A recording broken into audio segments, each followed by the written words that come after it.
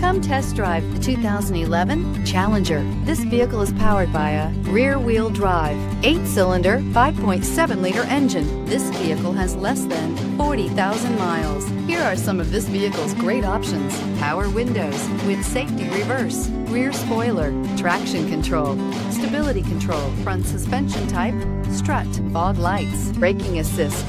Inside you'll find cruise control, trip computer, multifunctional information center, power steering, airbags, passenger, occupant sensing deactivation, one-touch windows, two, cargo area light. Searching for a dependable vehicle that looks great too? You found it, so stop in today.